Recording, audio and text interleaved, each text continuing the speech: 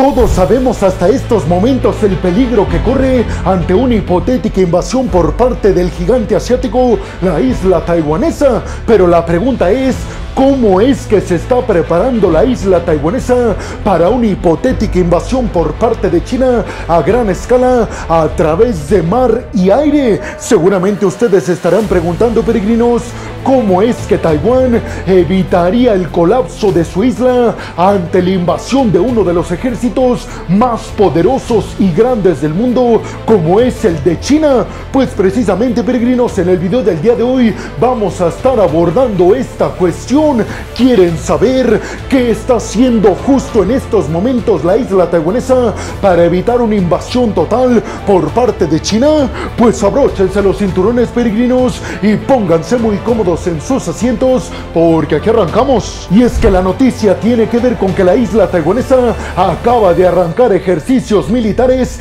centrándose en dos cosas. Primero, en evitar el colapso de toda la sociedad y la vida en Taiwán ante una hipotética invasión por parte de China y segundo, están simulando cómo evitar que China invada la isla después de ejercicios de rutina militares que China lleva a cabo casi a diario con aeronaves en el cielo y con buques militares en el mar. Ustedes saben que en estos momentos China y sobre todo después de la visita de la entonces presidenta de la Cámara de los Representantes de Estados Unidos, Nancy Pelosi, a partir de ese momento China aumentó considerablemente sus ejercicios militares aéreos y navales alrededor de la isla taiwanesa. Los taiwaneses entonces viven con el miedo de que un día estos ejercicios militares chinos no sean ejercicios y que empiecen a intentar invadir a la isla, pues precisamente los ejercicios militares taiwaneses que están ya ejecutándose en estos momentos se centran sobre todo en esta cuestión, en cómo evitar que China, después de realizar ejercicios militares, un día lleve a cabo una invasión real a Taiwán. Recordemos que China reclama la soberanía total de la isla taiwanesa y recordemos también que el año pasado, cuando Xi Jinping, el líder del gigante asiático, ejerció su tercer mandato para gobernar China durante los próximos cinco años, prometió a toda China que iba a anexionar ya sea de forma pacífica y, si se necesitaba hasta de forma militar a la isla taiwanesa. Es decir, que a Xi Jinping le quedan cuatro años para cumplir esa promesa y hasta el momento no se ve ni cerca el hecho de que la anexión de Taiwán vaya a ser pacífica. Por eso todo el mundo está esperando a que China muestre sus tentáculos militares. Estos ejercicios militares anuales que realiza la isla taiwanesa se llaman Han Kuang y antes se realizaban cinco días seguidos, pero ahora, debido precisamente a la preocupación cada vez más fuerte que existe de una invasión por parte de China a la isla taiwanesa, los ejercicios se extenderán hasta ocho días. Repito, específicamente centrándose en evitar una invasión por parte de China que vendría después de ejercicios militares navales y marítimos en torno a la isla taiwanesa. La expresidenta taiwanesa Tsai Ing-wen y ahora el presidente taiwanés William Lai han repetido en varias ocasiones que lo más importante para la isla es asegurarse de estar preparados para que en el dado caso de que los ejercicios militares chinos se conviertan en una invasión real, Taiwán tenga como responder por lo menos algunos días. Esto para aguardar a que llegue la ayuda de quien ha prometido defender a la isla de una invasión por parte de China, Estados Unidos. Además, los ejercicios militares esta ocasión, como los del año pasado, estarán centrando también mucha atención en cómo evitar un bloqueo total de la isla por parte de China, ya que es así lugar a dudas, han dicho funcionarios militares de alto rango de Estados Unidos, sería la estrategia que intentaría llevar a cabo el gigante asiático, rodear vía aérea y marítima la isla para que nadie pudiera salir,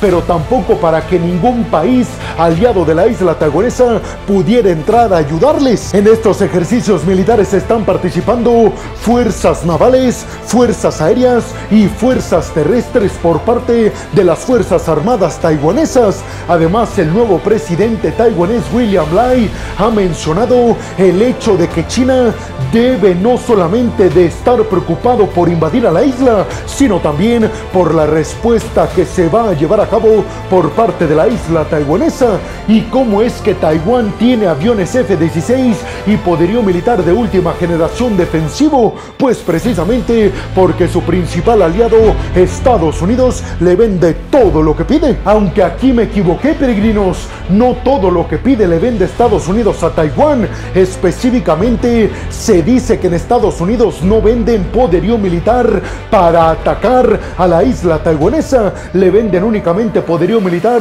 para defenderse. William Lai, el nuevo presidente taiwanés, dijo que la estrategia en estos ejercicios militares para evitar un bloqueo aéreo y además marítimo por parte de China sería realizar operaciones de escolta conjuntos entre la Fuerza Aérea, la Fuerza Marítima y las fuerzas terrestres taiwanesas para mantener canales de comunicación con otros países aliados de Taiwán como por ejemplo Japón o Estados Unidos. La expresidenta taiwanesa Tsai Ing-wen ha mencionado también en varias ocasiones que la isla taiwanesa está observando cuidadosamente cómo se están llevando a cabo en estos momentos los conflictos más grandes como el de Ucrania y como en el Medio Oriente entre Israel y el grupo extremista de Hamas. Han reiterado los taiwaneses que la isla está aprendiendo mucho de estos conflictos y que están obteniendo estrategias defensivas tanto de Ucrania como de Israel. Tsai Ing-wen también ha dicho que la situación de Taiwán se parece muchísimo a la de Ucrania, ya que Taiwán, al igual que Ucrania con Rusia, tiene un ejército mucho menos poderoso en número y en fuerza militar y en desarrollo tecnológico si se compara con el de China, pero aseguró Tsai Ing-wen, eso no le garantiza a China tener éxito invadiéndonos y para prueba está lo que aconteció en Ucrania. Todos daban victorioso al ejército de Putin, aseguró Tsai Ing-wen, pero los ucranianos, aunque son menos en cantidad de tropas y menos en desarrollo tecnológico militar, lograron detener al invasor ruso. El nuevo presidente taiwanés William Lai describió los ejercicios militares como históricos y dijo que se habían probado con éxito sistemas de defensa aérea taiwaneses y sistemas de misiles tierra-aire que estarían derribando aeronaves del enemigo. Además, especificó que un buque patrulla capaz de acabar con portaaviones chinos ya está 100% operativa y que no dudarían en usarla en contra de buques chinos que se acercaran a la isla taiwanesa buscando invadir el territorio. Se preveía que estos buques patrulla iban a ser entregados a Taiwán hasta el 2028, sin embargo ya fueron entregados.